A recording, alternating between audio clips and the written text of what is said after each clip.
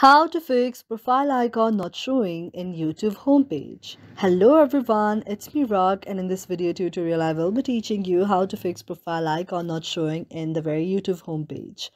For this at first you have to see whether you are connected to a stable internet connection or not. That may be your Wi-Fi connection or your data connection as well.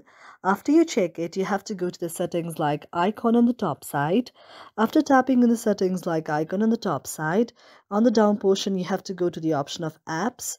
After tapping on the option of apps, you can see an interface like this. Now here you have to just scroll down. You have to scroll down until you find the option of YouTube.